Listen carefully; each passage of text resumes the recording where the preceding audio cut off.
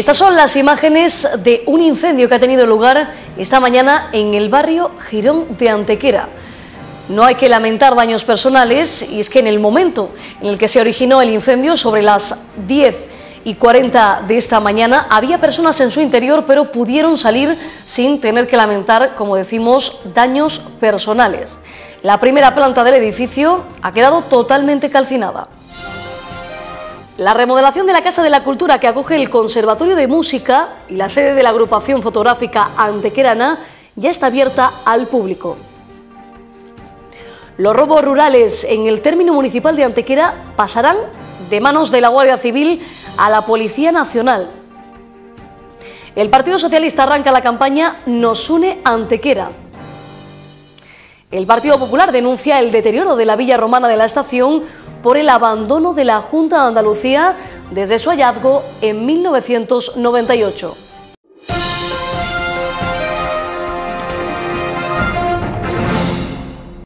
Desde el pasado viernes está abierta al público la Casa de la Cultura de Antequera, situada en la calle Carreteros, que alberga el Conservatorio de Música y la sede de la Asociación Fotográfica Antequerana. Una infraestructura que estaba en muy malas condiciones y en la que se ha invertido 212.000 euros por parte del consistorio antequerano. La remodelada Casa de la Cultura, que acoge el Conservatorio de Música y la sede de la agrupación fotográfica antequerana, ya está abierta al público tras una inversión municipal de 212.000 euros. Manuel Barón, el alcalde de Antequera, ha resaltado que ha sido una actuación integral en la casa, pero sin perder el sabor del antiguo Banco de España. Además, ha alabado el trabajo realizado por Anater y todas las personas implicadas en las obras. en, el, ámbito urbanístico de, la antequera de, esta, de este antiguo Banco de España, ¿no? y, que, que hemos respetado para no perder pues esa imagen pues antigua eh, de, edificio eh, rehabilitado, pero como digo, sin perder ese sabor. Se ha invertido 200.000 mm, euros, 200 y pico mil euros ¿eh? en toda la actuación. La empresa que la ha realizado ha sido una, empresa antequerana, 100% antequerana, con trabajadores antequeranos y socios propietarios antequeranos, Anartec, y eh, por supuesto eh, los servicios operativos del Ayuntamiento de Antequera, bajo la dirección de los, técnicos municipales Antonio Villalón como arquitecto y arquitecto técnico Justo Muñoz y eh, fundamentalmente pues eh, el área de pintura y su jefe de servicio Manolo Morales, que yo creo que la obra es importante, pero pero aquí se han pintado muchos metros cuadrados, ¿eh? muchos metros cuadrados se han pintado y Manolo Morales ha sido pues el, que ha llevado y ha liderado en este caso pues la, modernización y, todo lo que supone el buen gusto con el que la Casa de la Cultura ha quedado, ¿no? respetando, como digo, lo antiguo, pero modernizándolo y mejorándolo. Y la prueba es este salón de actos, se ha mejorado el conservatorio, se ha mejorado la sala de pintura, se ha mejorado la sala y la sede de, la Asociación Fotográfica Antegrana, eh, todas las aulas, pero el salón de actos creo que es, era el que, el que más impacto tiene, puesto que se ha hecho una actuación integral para ganar otro espacio escénico o también otro espacio que, sirva para completar pues, el salón de actos del museo, el, teatro Cine Torcal o cualquier otra, otra sala eh, de conferencia o de, o de, o de actuaciones eh, que se pueda que pueda tener Antequera. Por su parte, el concejal de urbanismo, José Ramón Carmona, ha insistido que la remodelada Casa de la Cultura garantiza la seguridad de las personas que trabajan aquí y de los niños. Es un edificio 100% seguro y garantiza la seguridad de todos los padres. La sensibilidad que había que tener ante una demanda justa, tanto de los padres como de los propios responsables de cultura que nos decían continuamente eh, pues necesitaba un compromiso económico, un compromiso económico importante, 100% del Ayuntamiento de Antequera de eh, fondos propios, eh, que se consiguió encontrar gracias a la fantástica gestión que, estábamos haciendo desde el punto de vista económico, que permitía a mediados de año que se librara una partida para poder acometer esta actuación y tenerlo finalizado para, el día de hoy. Tengo que decirles que todo lo que es eh, las obras de cada aula o cada sala que íbamos abriendo nos íbamos encontrando una sorpresa. Nos íbamos encontrando una sorpresa desagradable porque a simple vista, cuando se hizo el estudio de cómo estaba el edificio, pues se había que algunas zonas estaban mal, pero nos hemos encontrado con que algunas zonas estaban incluso peligrosas. Está claro que garantizar la seguridad de las personas que aquí trabajan y también, y sobre todo de los más jóvenes, de los niños, era fundamental. Hoy en día es un edificio 100% seguro, 100% accesible y que garantiza no solamente la seguridad, sino también eh, pues eh, la tranquilidad de todos los padres o de todas las personas que vienen aquí a la Casa de Cultura. La joya de la corona de la remodelación de la Casa de la Cultura es el Salón de Actos. Asimismo, se ha instalado una escalera de incendios con la consiguiente apertura de una salida de emergencias, restaurado en las aulas, repuesto la calefacción y la instalación eléctrica, eliminando humedades y sustituyendo las ventanas de aluminio y vidrio Climalit. Por aluminio y Climalit. Con esto hemos conseguido primero los fríos y calores los vamos a evitar, con lo cual eh, el acondicionamiento va a ser mucho mejor. Y el quitar todas las maderas con el peligro que conllevaba, porque todos los marcos y las hojas, muchísimas de ellas estaban totalmente en un estado lamentable, podridos, y con eso, bueno, aquí ha trabajado, como bien ha dicho, todos los oficios, han trabajado y bueno, felicitarlos a todos, porque todos han hecho una buena labor, pero sobre todo felicitar, si queremos por parte de Anartec, felicitar al equipo técnico del ayuntamiento porque con todas las trabas que no hemos podido encontrar en esta obra, jamás nos han dicho no lo haga. Arregla, repara y repara. Antes que nada, la seguridad y el bienestar de todos los alumnos que estén aquí. Por eso tengo que agradecerle a ellos que nunca jamás nos han puesto ninguna traba en nada de lo que le hemos pedido. Hemos sufrido, pero con paciencia, y esto hicimos visualizando el resultado, que en el 25 aniversario del conservatorio teníamos antiguamente un edificio aquejado por la mala salud y realmente no hemos encontrado un, edificio flamante, que lo vaya a notar todos, los alumnos, los profesores, los antequeranos. La sala de audiciones se ha ampliado, con lo cual ofreceremos conciertos al público y antequera. Por lo tanto, felicitar a todos los que han hecho posible esta obra y por supuesto suscribo todo lo que han dicho el señor alcalde y los demás. Realmente estamos con mucha ilusión. Los robos rurales en el campo, que anteriormente controlaba la Guardia Civil, serán controlados en el término municipal de Antequera, ahora por la Policía Nacional. Los robos rurales en el término municipal de Antequera pasan a ser competencia de la Policía Nacional. La vigilancia del campo antequerano pasa a manos de la Policía Nacional, según ha informado a Saja Málaga. Aún así, la policía solo vigilará el término municipal de Antequera, continuando con el control de la zona rural del norte de Málaga, los grupos Roca del Guardia Civil. El presidente de Asaja, Baldomero Bellido, mostró su esperanza y solicitó a la subdelegación del Gobierno en Málaga que dote de más medios a la Policía Nacional por la gran superficie del término de Antequera, que de otra forma quedaría desprovista de seguridad del municipio y asegura que están expectantes. Bellido también recalcó que los robos suponen una de las mayores lacras a las que tienen que hacer frente los agricultores y ganaderos de la provincia.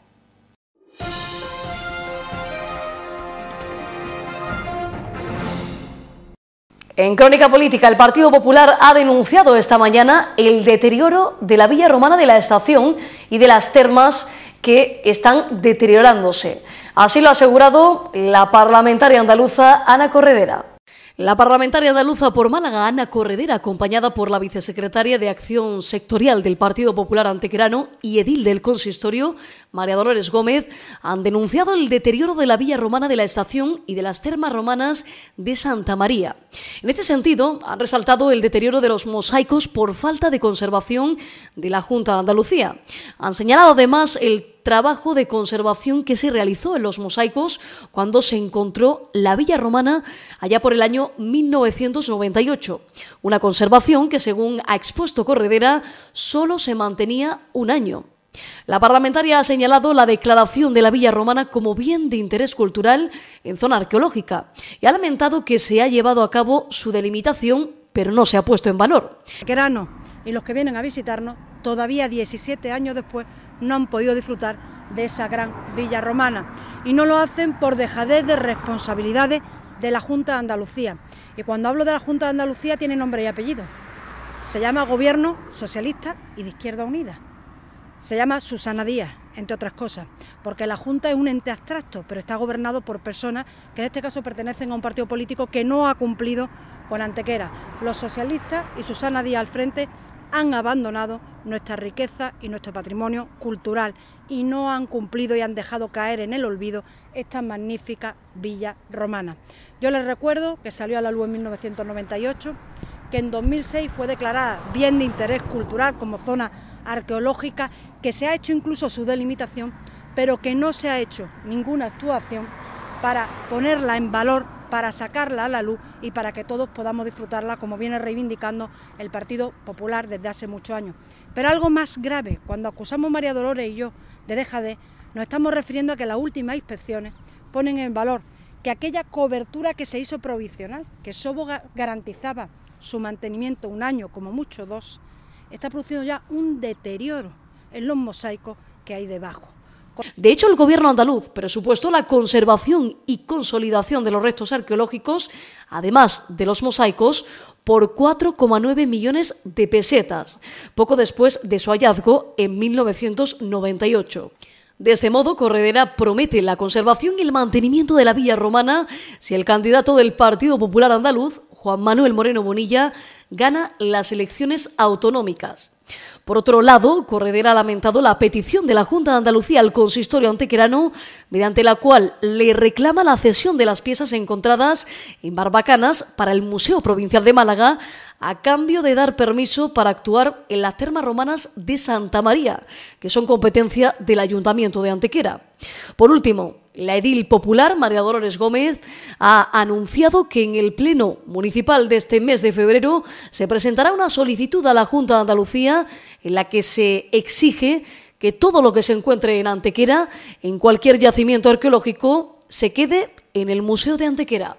Permiso para actuar, usted me tiene que ceder para el Museo Provincial estas piezas. Tenemos una cosa clara, lo tiene claro nuestra concejala de patrimonio y nuestro alcalde, que nuestro museo cumple con las condiciones adecuadas para tener y exponer esas piezas. Por lo tanto, no tenemos por qué cederlas. Que ese es un atractivo más cultural y de patrimonio de Antequera. Y eso es lo que pedimos en esa iniciativa que María Dolores anunciaba. Lo que pedimos es que se deje actuar al ayuntamiento, que se le permita trabajar en las termas romanas que se le permita ponerlas en valor para uso y disfrute de todos, que no se nos ponga pega y sobre todo, lo cual es absolutamente inaceptable, que no se someta a un chantaje, en este caso al gobierno municipal. Antequera tiene una riqueza patrimonial que es indudable. Recuerdo que había unas cifras por ahí que decían que prácticamente el 80% del patrimonio cultural, religioso, arqueológico de la provincia de Málaga. Y de cara a las elecciones también municipales y autonómicas, el Partido Socialista ha presentado esta mañana el comité del partido. El concejal socialista y jefe del comité de campaña del Partido Socialista en Antequera, Manuel Chicón, ha presentado esta mañana el comité de campaña del Partido Socialista en Antequera que encara las próximas elecciones autonómicas y municipales.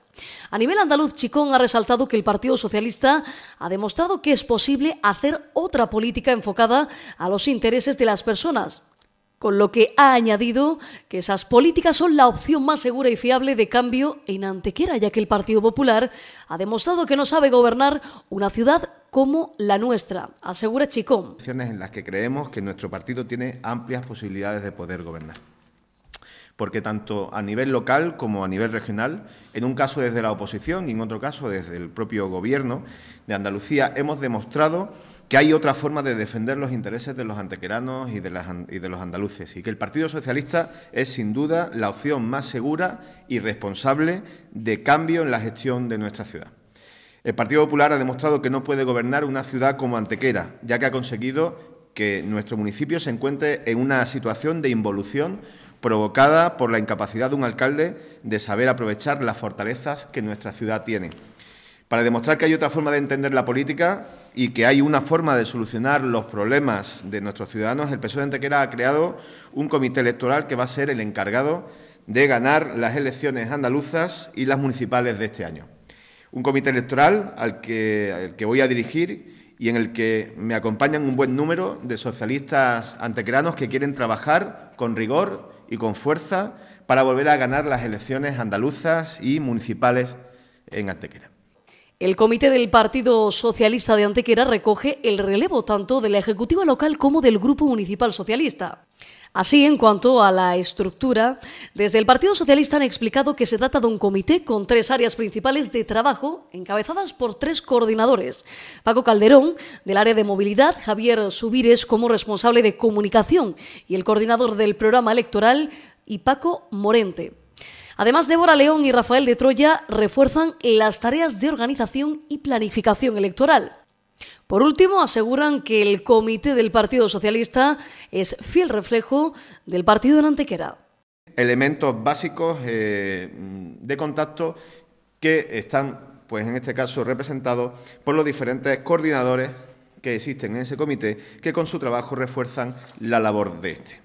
En este sentido, contamos con varios coordinadores de área, que son, pues desde el área de movilización, que lo coordina el compañero Paco Carderón, al área de, comunicación, del que se encarga nuestro compañero Javier Subires, o el coordinador de programa electoral, que en este caso es nuestro compañero Paco Morente.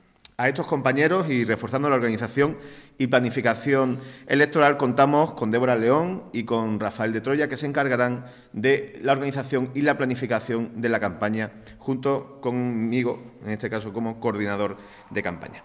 Pero ante todo y evitando personalizar, porque además somos muchos los compañeros y compañeras que integran este comité electoral, tenemos que decir que contamos con un comité que es fiel reflejo de nuestro partido, en el que hay personas jóvenes, en el que hay personas con más experiencia y así como diferentes perfiles que conforman un grupo heterogéneo que tiene en común su fuerza y sus ganas de que el proyecto socialista que representamos arraigue una vez más en Antequera. De cara a las elecciones municipales, el Partido Socialista de Antequera presenta la campaña Antequera nos une, con la que asegura pretende devolver a los antequeranos su ayuntamiento. El Partido Socialista de Antequera pone en marcha esta misma semana la campaña Nos une Antequera, con la que Javier Duque, el candidato a la alcaldía de Antequera, pretende conseguir la alcaldía de la ciudad a través del diálogo directo con la ciudadanía y la toma de contacto con los problemas de los antequeranos. Como primera medida, desde el Partido Socialista se proponen hacer llegar a la ciudadanía un sencillo decálogo con 10 medidas que nos unen a todos con Antequera. Ese es el eslogan, así como medida principal de la candidatura de Javier Duque, que ya ha puesto en valor en muchas ocasiones como principal tarea que se encomienda los socialistas para gobernar será poner todos los medios disponibles para la creación de empleo. En cuanto al ayuntamiento, otro de los pilares de la campaña supone recuperar el consistorio antequerano. Además, dentro de este decálogo destaca el deseo de los socialistas de que Antequera, aseguran, vuelva a ser una ciudad viva con actividad en el presente y proyecciones en el futuro. En esa línea, el Partido Socialista apuesta por volver a mirar a las personas mayores, a los niños y niñas, así como a los jóvenes. Por último, el decálogo de la candidatura de Javier Duque incluye una apuesta decidida por recuperar la cultura como uno de los pilares fundamentales de Antequera. Una campaña cercana, una campaña honesta y que tiene como objetivo fundamental la presentación de un decálogo que es nuestra hoja de ruta en esta campaña electoral municipal y que es el compromiso de los socialistas en el que estamos dispuestos a asumir con nuestros ciudadanos. ¿eh? Eh, esta campaña consta de diferentes formatos y diferentes materiales. Tenemos folletos, tenemos tarjetones de propuestas, tenemos eh, folletos para pomos de las puertas, tenemos pegatinas, tenemos diferente material, tenemos un amplio material y diferentes formatos que van a servir para acercarnos aún más a los antequeranos y antequeranas y también va a ser un vehículo para recoger todas aquellas sugerencias o iniciativas que los ciudadanos y ciudadanas quieran transmitirnos y de esa manera poder incluirlas en nuestro programa electoral que ya llevamos bastante tiempo preparando. Insisto en que es una campaña honesta, sincera, es una campaña ilusionante. Éxito rotundo en el carnaval de Antequera con esa apertura que llevó a cabo el humorista Javier Vallespín. Este fin de semana ha estado cargado de eventos. Un año más, el carnaval de Antequera ha sido todo un éxito. Los antequeranos se vuelcan estos días para participar en todas las actividades posibles, convirtiéndolo así en una de las actividades más esperadas del año. Además, Javier Vallespín protagonizó un inolvidable pregón de carnaval, en el que también participaron su compañero y humorista Manolo Medina, así como los dos anteriores pregoneros del carnaval, José Antonio del Pino y Javier García, encargados todos ellos de introducirle en un lleno y entregado teatro torcal. No llevas toda la vida en Antequera. Si no te ha saludado Gigi. Si no te has cruzado con Pepe Guerrero por la carretera.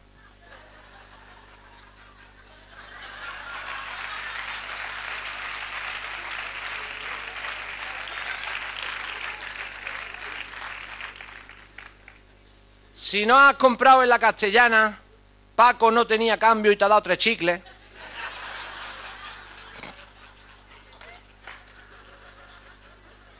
Si no has ido a comer a la venta al coneo y cuando has llegado has dicho, aquí hace falta un paso cebra.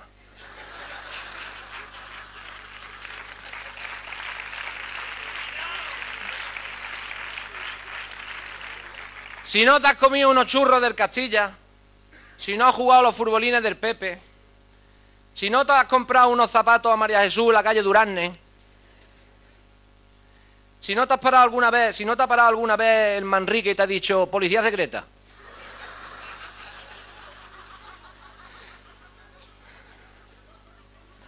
Pero va a morir, chocho. Si no has criticado la estatua del capitán Moreno y después has dicho, y yo, pues ha quedado bien. Manolo Varón, ¿cómo aplaude? pero también era el Día de los Enamorados, y para ello nada mejor que mezclar el carnaval con San Valentín, o mejor dicho, San Vallespín, tal y como el propio pregonero vino a denominar su caracterización justo antes de que apareciera en escena, iniciando y cerrando el acto la cantante Karina, quien cantó Las flechas del amor y buscando en el baúl de los recuerdos ya en el Paseo Real, turno para los concursos de disfraces y la diversión de la mano de los grupos musicales en Mabroder de la Escuela Municipal de Mantequera y de Ladies, amenizando la velada con música pop y rock de los años 50. Valiosa aportación fue también la de las asociaciones y colectivos que ofrecieron productos típicos de la época en los laterales de la carpa instalada y en la que la diversión y el carnaval también vino de la mano de la chiriparsa con paragota, antegrana, bota los verdes. Conocemos la información de servicios. En la información meteorológica de mañana martes tendremos cielos nubosos durante todo el día con posibilidades de lluvia que comenzarán a partir de la una de la tarde. Parece que el, miércoles la lluvia nos dará tregua y las temperaturas de mañana oscilarán entre los 11 grados de máxima y los 6 grados de mínima. La farmacia de guardia de hoy lunes era la farmacia Pérez Hostos, situada en la calle Carreteros número 3. El número de teléfono es el 952 84 20 96.